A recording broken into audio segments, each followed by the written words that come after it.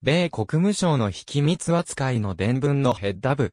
シプディーズというタグを赤で囲っている。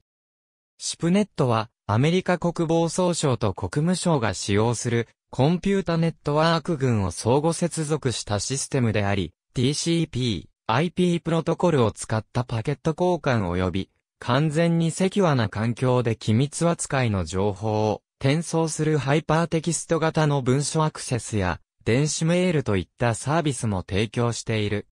つまり、シップネットは一般のインターネットの国防総省の機密版に相当する。シップネットはディフェンスインフォメーションシステムズネットワークの機密部分である。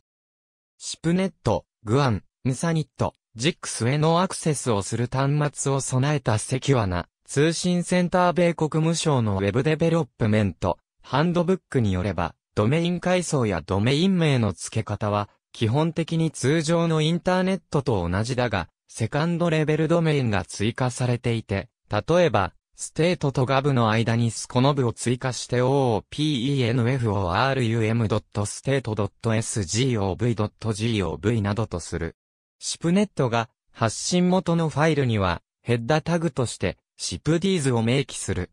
国防総省の利用者向けの同様のセカンドレベルドメインとして smil.mil がある。ペンタゴンによれば、シップネットには約50万人のユーザーがいる。オーストラリア、カナダ、イギリス、ニュージーランドといった一部の信頼できる同盟国からのアクセスも可能である。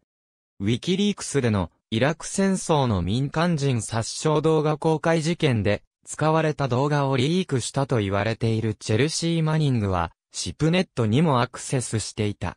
また同じく2010年11月のアメリカ外交公伝ウィキリークス流出事件もマニングがシプネットから情報を入手したものとされている。ありがとうございます。